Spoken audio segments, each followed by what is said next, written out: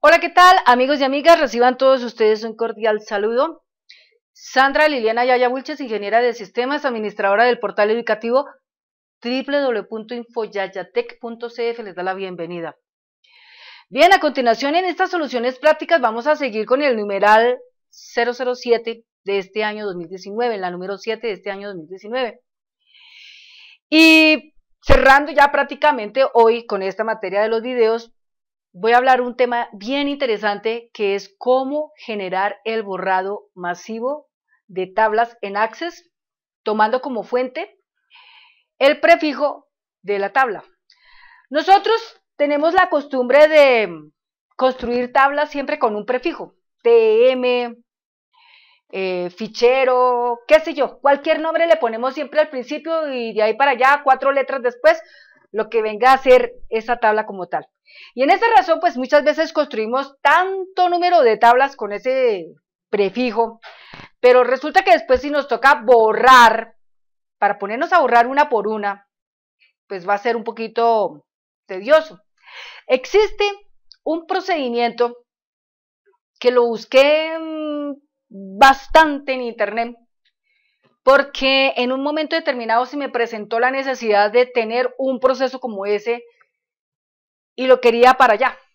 Entonces lo, lo encontré, lo apliqué a mi proyecto y súper, me fue muy bien con eso. Y pues, como siempre, cada vez que algo nuevo yo encuentro, pues no me quedo corta en traerlo a este escenario y exponerlo. En este video que voy a desarrollar, conducir, eh, locucionar y emitir, hablaré de ese tema, del borrado masivo de estas tablas, o bien que no fueran tablas, sino fueran consultas o formularios o informes. Lo importante es que es un nombre y lo vamos a borrar. Y no vamos a borrar ni dos ni tres, sino vamos a borrar bastantes. ¿Listo? Entonces vamos a empezar con este procedimiento. Para eso, entonces yo me voy a remitir aquí a Ah, la tablita que yo tengo en este momento trabajando acá, que lleva el nombre de Macros Especiales 2019. Entonces la vamos a cargar. Bueno, en esta tablita sencilla tenemos un formulario y lo voy a explicar así. La idea es que eh, con este formulario, con este procedimiento, usted tenga la capacidad de poder borrar no una tabla ni dos ni tres, sino muchas que tengan ese nombre. Por ejemplo, todas las tablitas acá tienen la palabra catálogo, catálogo, catálogo, pero si nos damos cuenta son diferentes. Digamos, después de la palabra catálogo vienen cosas diferentes en ella, ¿no? El número. Entonces, esto representa que el no conocer ese procedimiento implica que le tenemos que a cada una hacerle un clic, borre, clic, borre y así por el estilo. Y si son muchas, pues tenaz. Entonces, con este procedimiento, que permite borrar masivamente, pues será en un 2x3, ¿de acuerdo? Vamos entonces a mirar ese formulario. Se llama FRM raya al piso, borrar raya al piso. Bueno, entonces yo aquí le pongo un nombre, file XLSX raya al piso masivo. Pero igual ese nombre yo, lo puedo, yo le puedo poner simplemente la palabra FRM borrar masivamente. Vamos a cambiarlo acá. Entonces, yo lo voy a llamar así, borrar masivamente. Borrar masivamente. Así se va a llamar nuestro formulario. Y voy a explicar entonces nuestro formulario cómo está compuesto. Bueno, vamos a la vista del diseño. Lo más eh, interesante de nuestro, de nuestro formulario es que, bueno, usted pone aquí la palabra que quiera borrar masivamente. Bueno, si por ejemplo yo aquí voy a cambiarle el nombre Bien, entonces aquí tengo yo borrar masivamente ficheros. ¿Listo? Ahora, este botón así como está, ¿qué procedimiento tendrá?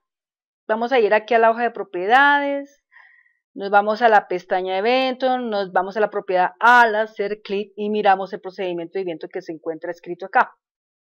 Entonces lo explico. Bueno, dentro de esto lo primero que usted hace es establecer una rutina. una rutina que se va a llamar sub elimina tablas con, bueno, por ejemplo yo le puse aquí con XLS, ¿sí? Yo lo puedo dejar simplemente con el término, mm, digamos, con el término X, ¿no? Con el término X. Para mí el término X representa cualquier nombre, ¿de acuerdo? Entonces, seguidamente abre paréntesis, cierra paréntesis. Así queda enunciada esta rutina. Seguidamente vamos y declaramos el din db a luego un din tdf as dao tablet dev, luego set db igual currentdb, ¿sí? Entonces, uno enuncia la base de datos, otro enuncia el objeto tabla y otro enuncia la base de datos actual. Seguidamente vamos con un ciclo que llamamos bucle determinado, que es el each. Entonces decimos for each tdf in db.tabledef.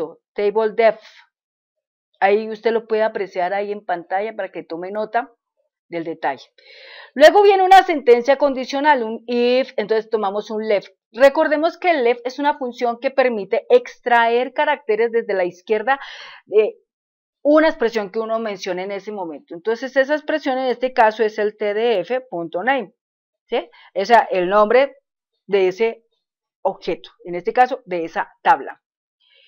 Entonces se le dice tdf.name, coma, espacio y 8. ¿Por qué 8? Bueno, porque 8 es, es la cantidad de letras que tiene esa palabra. Entonces, por ejemplo, yo aquí voy a cambiar este término que hice acá, file X, XLS, lo voy a cambiar por el término catálogo. Catálogo. ¿Cuántas letras tiene catálogo? 8. ¿Listo? Puedo ponerle 7, puedo ponerle 6, bueno, dependiendo de lo que yo quiera. Si yo fuera masivamente a borrar tablas que empiezan por TM, pues le pondría solamente 2 y pondría TM. O TC. Si fuera a borrar, por ejemplo, digamos otro concepto, digamos table, por ejemplo, entonces sería table, serían 5, y así por el estilo. Bueno, luego viene un D. Viene un término que se llama así, do cmd punto y viene el término delete object, delete object, espacio, hace table, espacio, tdf.name, tdf, coma, perdón, hace table, coma, espacio, tdf.name. Quiero resaltar algo interesante del concepto acá, que bueno, aquí tenemos la palabra tablet dev.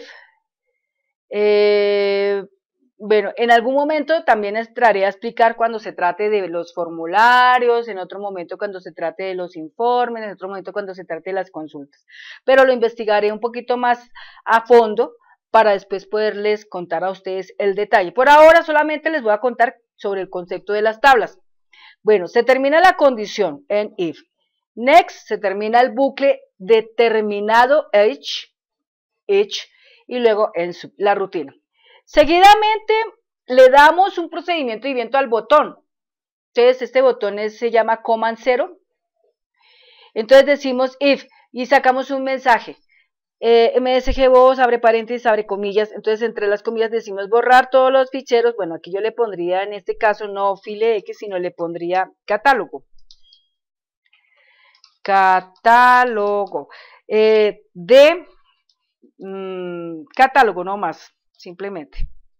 ¿sí? Los ficheros catálogo. No, eh, sea cual sea, pero que, que empiecen con la palabra catálogo. Coma, luego un mensaje es bebe, es no, coma, luego digamos el nombre de, de una variable, pero como yo aquí no tengo una variable pública que diga título BT, entonces simplemente yo le voy a poner acá entre comillas el nombre de mi ventanita, que en este caso sería proceso borrar. Listo, entre comillas, proceso borrar. Luego cerramos paréntesis, luego igual bb yes y luego den. Listo, ahí ya quedó. En este momento vamos a llamar esa rutina que se llama eliminar tablas con X. Eliminar tablas con X. Entonces aquí quitamos estos otros elementos. Eliminar tablas con X y ahí se carga la rutina. Un mensaje que dirá después, terminó proceso, aquí otra vez vuelve y, se presenta este término, entonces acá entre comillas le pondremos la palabra proceso borrar masivamente. ¿Listo? Proceso borrar masivamente. Else, si no es así, sub termine la rutina y cierre el formulario presente. Termina el sí condicional, termina la rutina. Es decir, la rutina del el botón comando 0. Entonces, tenemos una rutina, ¿no? Con un nombre definido, con una información dentro que nos permite eh, tomar el objeto en cuestión, que en este caso es el asset table, ¿sí? Y eh, tendremos después la posibilidad de que a través del botón podemos borrar esas tablitas. ¿Listo? Bueno, bien. Entonces ahí termina esa parte. Téngalo presente, anote para que usted lo pueda hacer. Cerramos aquí y vamos entonces ahora a proceder a cargarlo. Entonces guardamos, cerramos. Entonces yo lo voy aquí a cargar. Entonces yo lo que voy a hacer es quitar estas tres tablas de una. Entonces doy acá. Dice borrar masivamente ficheros. Le doy un clic. Borrar todos los ficheros catálogo. Sí. Terminó el proceso. Aceptar y se fueron los tres archivos de una. Eso es todo amigos. Espero que esta solución práctica para ustedes pues, les haya servido de mucho. No dejen de estar viendo este video las veces que ustedes consideren para que puedan aprender. Y nos vemos en un próximo video. Hasta pronto y muchas gracias por sus comentarios y por la suscripción. Hasta pronto.